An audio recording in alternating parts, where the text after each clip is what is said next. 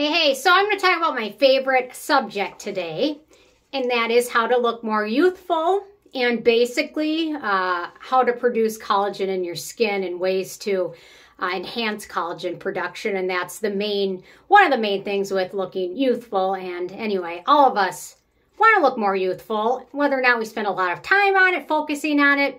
It's different for everybody the less you can do to stress about it, the better, because you know, in the long run, a lot of things are, play a uh, role with genetics is a big thing, but there's other things you can do aside from that. So don't get stressed out about because that stress is not going to help you produce more collagen. And I've done a few videos discussing this, and I've got uh, basically there's a PubMed article uh, that was published, I just read it, and I'll link to it below because it really goes through a lot of these uh, in great deep depth and more detail, so it might be worth checking out the that link below. Um, okay, I'm just summarizing it in layman's terms, or in a term that somebody like me could understand. Oh, look, my nails, aren't they fun? My I bought like a powder, that's a mirror powder, my nail gal did it for me. So, okay, so collagen, that's what gives us bouncy, firm, youthful looking skin. Uh, helps uh, with wrinkles. The more collagen we have, the less wrinkles, the less they're noticed.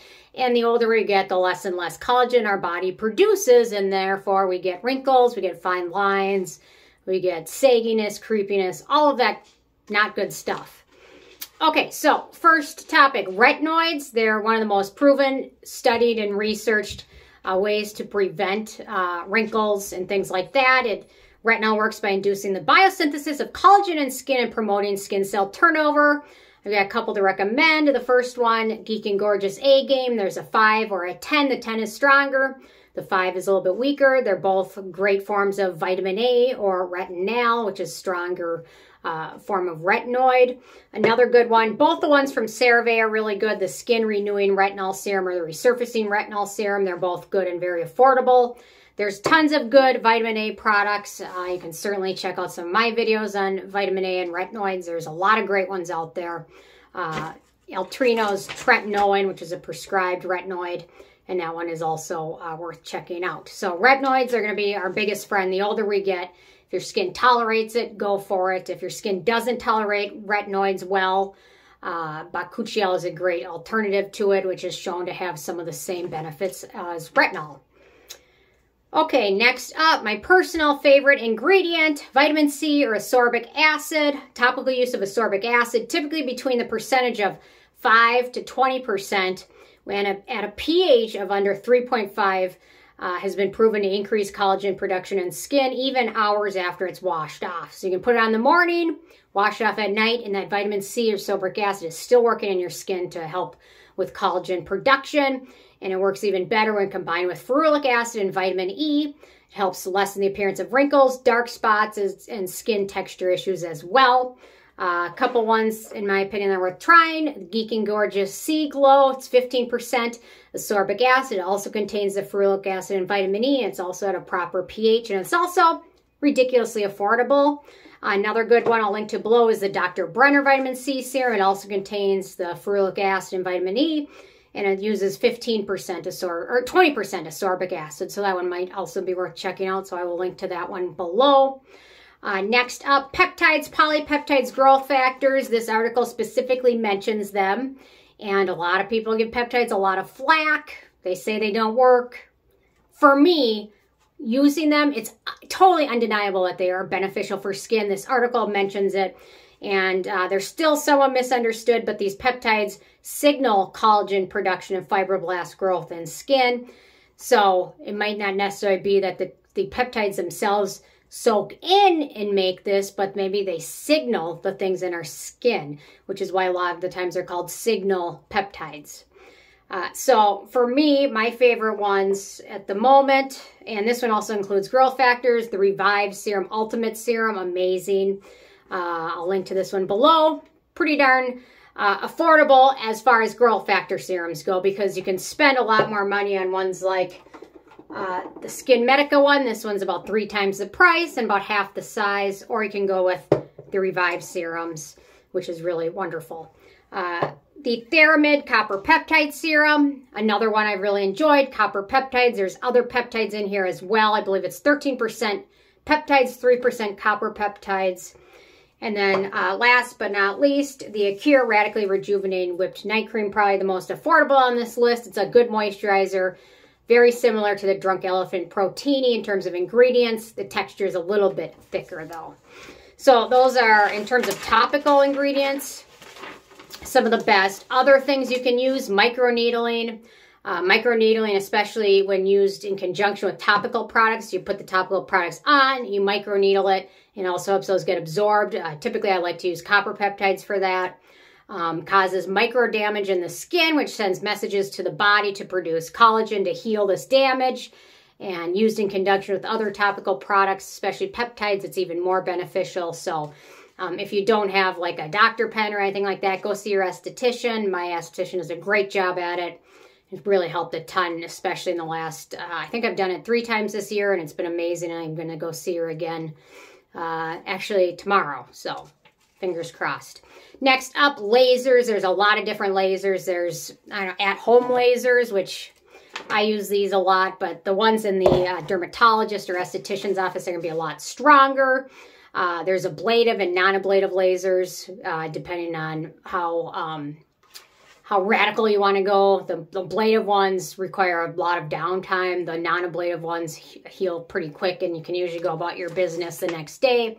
Uh, many of them help with collagen production and the skin heals after these lasers uh, are used on your skin. The skin heals and it produces more fresh skin. A lot of them are um, CO2 lasers is a big one. My friend has been using CO2 lasers on uh, an area that she had surgery on for skin cancer and really can barely tell anything happened there. So it's pretty amazing.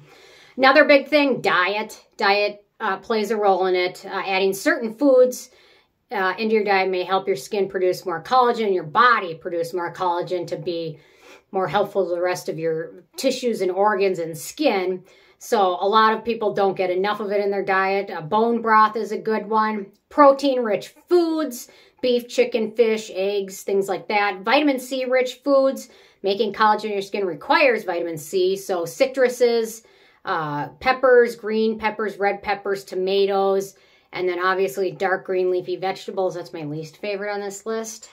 Um, anyway, I should try a uh, blend. What are that? Smoothie. Because then I heard you don't taste them so much. There's other ways to increase collagen production. Uh, red light therapy, it's still being studied uh, how it works and a lot of more research is going on in terms of that. But uh, light therapy, uh, Celluma, things like that, devices can help. Uh, antioxidant topical products to prevent damage. Radio frequency is mentioned in this article. I've tried the radio frequency, I've tried the microcurrents, I've tried a lot of these other things, but for me, I've really only found for at-home things, the at-home lasers work, and then microneedle. I just, I've tried the radio frequency and things like that, but maybe I need to try it again. I don't know.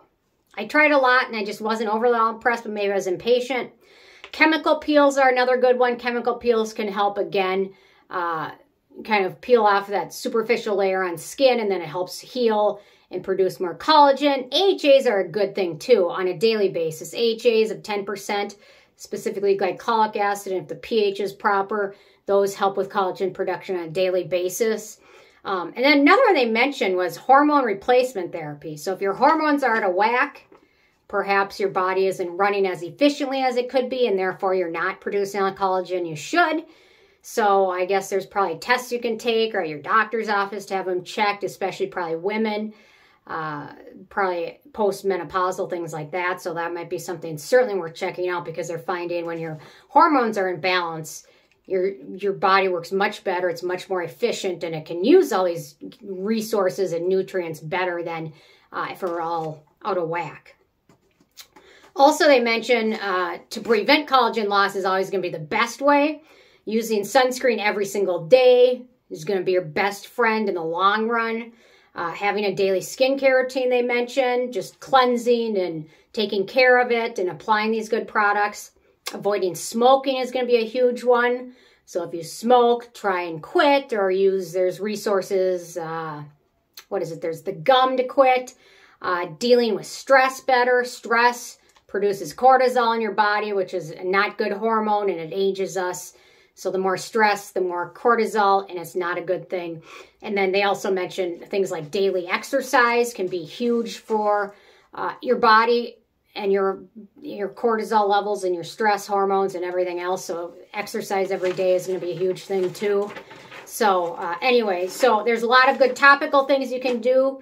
And then the older you get, the topical things, I mean, they're still benefiting you, but your body starts to age faster and these topical products can really help out. So I think then you get to some of the more invasive things like the lasers and the microneedling and things like that. Uh, and then this article also mentions some certain fillers and things like that. I'm not, I don't go crazy about that type of stuff, but it does mention them. The other thing it does mention, and I've heard this now at a couple places, whereas these uh, these collagen drinks, uh, I think VitaFit is another one, or Vital Proteins is another one. A lot of, I really dismiss these as not being super effective, but now I've read it and heard it in two different places where these may actually be more effective than we realize. Uh, I don't know. I got this one in a beauty box, and you can tell I was really excited about it because it's still out there.